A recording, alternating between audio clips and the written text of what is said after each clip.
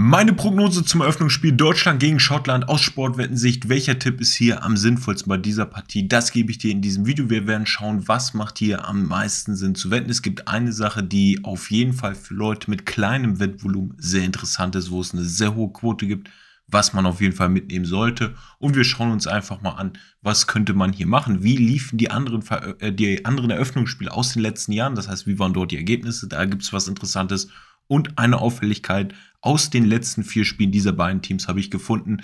All das gibt's nach dem Intro. Let's go.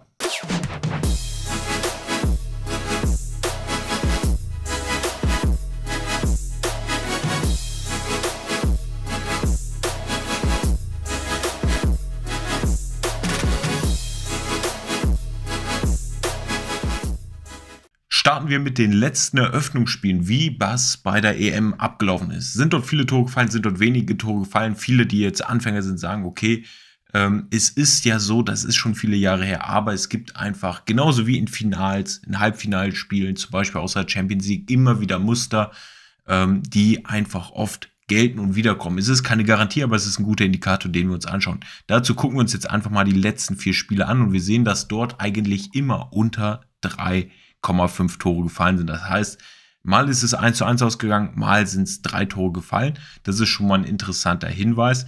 Was man aber auch sieht, ist, dass es jetzt, wenn wir jetzt mal so die Gesamtergebnisse angucken, dass es oftmals Unentschieden gibt und jetzt keine besondere Tendenz dazu gibt, dass die ähm, Heimteams, also zum Beispiel London, England, die, die diese, dieses Heimspiel halt haben, dass die eine besondere Überlegung haben und oft gewinnen. Also das ist schon mal nicht der Fall.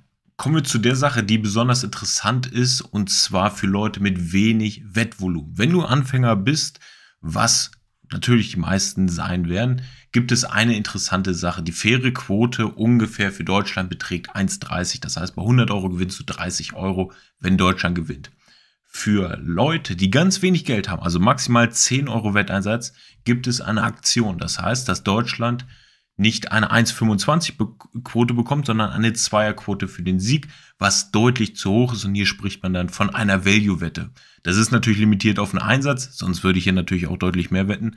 Kann man aber mit 10 Euro maximal anspielen. Das heißt, wenn du eine kleine Bankroll hast, würde ich das vor dem Spiel schon mal platzieren. Das heißt, diese, äh, den Sieg von Deutschland mit der Zweierquote.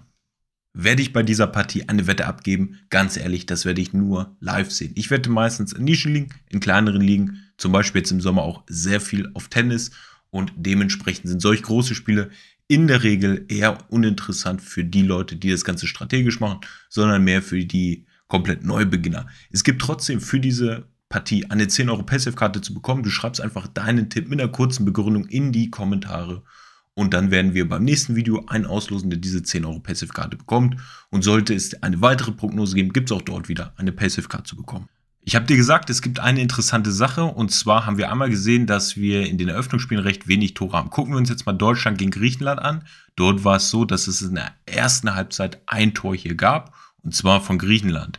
Davor das Spiel gegen Ukraine gab es zur Halbzeit null Tore. Wie sieht das Ganze bei Schottland aus? Letztes Spiel gegen Finnland gab es zur Halbzeit null Tore.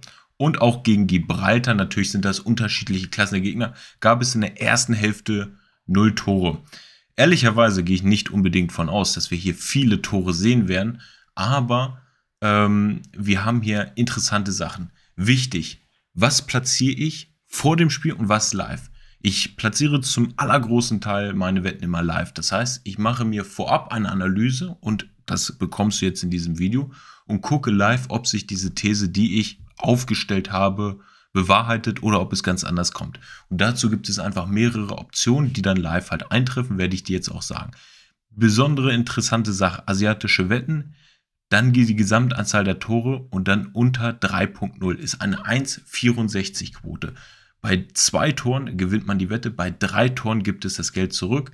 Ehrlicherweise das unter 3.5 mit der 1,42 ist deutlich interessanter. Das heißt, bis drei Tore in diesem Spiel, ne, egal ob es 2-1 oder 3-0 ist, äh, gewinnt man die Wette und das passt auch sehr gut mit diesen Eröffnungsspielen, die wir hier haben. Ebenfalls interessant, was wir mit der These hatten, dass in der ersten Halbzeit wenig los ist. Die unter 1.5 ist die 1,47er Quote. Das heißt, dass wir maximal ein Tor in der ersten Halbzeit haben. Hier, genau wie bei der Sache, die ich davor gesagt habe, mit den äh, unter 3,5 Toren, ist es aber auch wichtig, dass wir hier ein ruhiges Spiel haben. Das ist besonders wichtig, dass Deutschland nicht unbedingt sofort offensiv spielt, nicht zu viele Torchancen bekommt, sondern sich relativ schwer tut, Schottland hinten defensiv gut spielt und dann kann man diese Wette platzieren. Sollte es sein, dass Deutschland enormen Druck macht, würde ich diese Sache nicht platzieren. Zudem ist die Quote mit 1,25 für Deutschland mit einer hohen Bankroll, das heißt, wenn man hier mehrere hundert Euro draufsetzt, deutlich zu klein. Für die Leute, die eine kleine Bankroll haben, würde ich aber vorab dieses, äh, den Sieg von Deutschland mitmachen. Was ich mir gut vorstellen könnte, ein 2 zu 1 Sieg von Deutschland, vielleicht ein 1 zu 0 Sieg, irgendwie sowas in die Richtung. Und ganz wichtig, Leute, es ist ein Wettbewerb, wo Deutschland gegen Schottland zuletzt vor knapp neun Jahren aufeinander getroffen ist. Wir haben die Bundesliga profitabel abgeschlossen und ähm, dort ist es so, dass die Teams mehrfach im Jahr aufeinandertreffen. Es kann sein, dass es komplett anders kommt. Ich gebe dir immer den Hinweis nochmal, dass du die Live-Wetten unbedingt beachten solltest und die Live-Einstiege ähm, holen sollst. Das ist die Prognose dazu. Wenn dir das gefallen hat, lass ein Like da. Liebe Grüße. Jetzt habe ich zum Ende noch einen ganz heißen Tipp für dich. Wenn du erfahren möchtest, wie Sportwettenprofis wetten, habe ich ein neues kostenloses Sportwetten-Webinar erstellt. Dieses Webinar ist aber nur über den Link in der Beschreibung auf unserer Webseite verfügbar. Also schau es dir jetzt an.